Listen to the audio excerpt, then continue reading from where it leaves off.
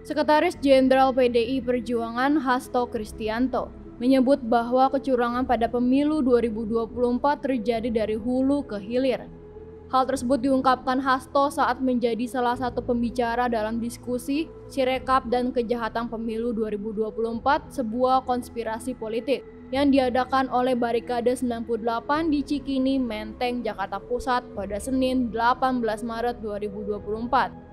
Kata Hasto, segala kecurangan tersebut merupakan perpaduan sempurna antara pemilu 1971 dan 2009. Bedanya hanya terletak pada metode yang digunakan. Saat pemilu 1971 dan 2009 menggunakan instrumen kekerasan yang dilakukan oleh ABRI dengan menggunakan sumber daya yang tidak terbatas dari negara. Katanya saat ini pun juga sama dilakukan oleh instrumen negara yang seharusnya netral dengan sumber-sumber daya dari negara. Hasto menjelaskan bahwa sistem rekapitulasi atau Sirekap yang dikelola oleh Komisi Pemilihan Umum atau KPU adalah salah satu instrumen yang digunakan. Baginya, situs ini digunakan hanya untuk membangun suatu persepsi di tengah masyarakat, karena hasil perhitungannya bisa diintervensi. Hasto mengatakan rekapitulasi yang dilakukan secara berjenjang di KPU ternyata tidak ada metadatanya.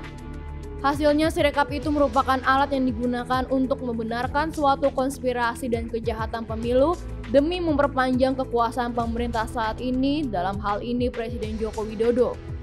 Hasto menegaskan bahwa abuse of power dari Presiden Jokowi betul-betul dilakukan. Menurutnya seluruh kekacauan dari hulu ke hilir tersebut akan sulit terbantahkan. Sekalipun suatu kejahatan pemilu terkadang dirancang tanpa ada bukti karena dilakukan secara masif.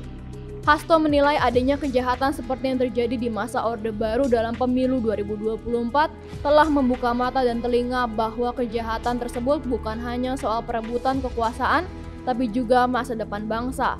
Hasto pun menyinggung adanya rekayasa hukum di Mahkamah Konstitusi atau MK dalam putusan nomor 90 yang menjadi cikal bakal lolosnya putra Jokowi, Gibran Rakabuming Raka sebagai calon wakil presiden.